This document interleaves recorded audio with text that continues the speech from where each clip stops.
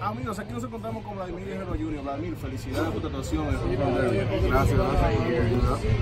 Vlad, ¿y cómo te sentiste? ¿Cómo se vivió esa experiencia después de 91 cuadrangulares en esa competencia? Bien, o sea, me siento contento y pues, la familia me siento bien contento y eso es lo que me llena a mí de, de orgullo. Vlad, tu papá no estuvo presente, pero ¿qué te dijo él después que terminó la competencia? Que se siente orgulloso y que hizo buen trabajo. O sea, y ya él estaba hablando de recuperar. Ya él no está hablando de. Él me dijo que lo tenía que hacer para, el cuerpo. Y lo hice y gracias a Dios me siento bien. Bueno, ¿hay que cambiar la técnica de bateo por una competencia de honrones o es la misma que un juego regular? No, es la misma, es la misma. Como lo que tú practicas, lo que tú, tienes, lo que tú llevas al juego, ¿me entiendes? Y, ¿sabes? Lo único que es diferente es que tú, tú ahí tienes que tratar de dar un rol, tú no puedes venir a darle ya por medio, ¿me entiendes? Pero eh, no hay que cambiar nada, sino tratar de darle la bola bien y que la bola se vaya a su lugar.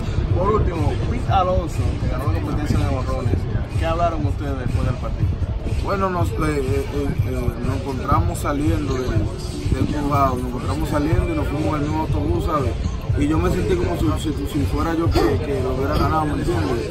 Y él lo único que me dijo, bueno, Vlad, yo creo que yo te gané, pero digo, yo me gané, no me dijo te gané, yo me gané tu trofeo, pero yo siento como si eres tú que te lo había ganado.